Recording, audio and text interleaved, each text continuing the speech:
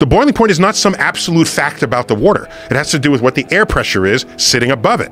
If you have extremely high air pressure, water has to go to a much higher temperature before it boils. The boiling point of water that's reported in all textbooks is at sea level, at one atmospheric pressure. That's how you get 212 degrees. If you start reducing the atmospheric pressure, it's 210 degrees, 205 degrees, 200 degrees, 190 degrees, 180 degrees.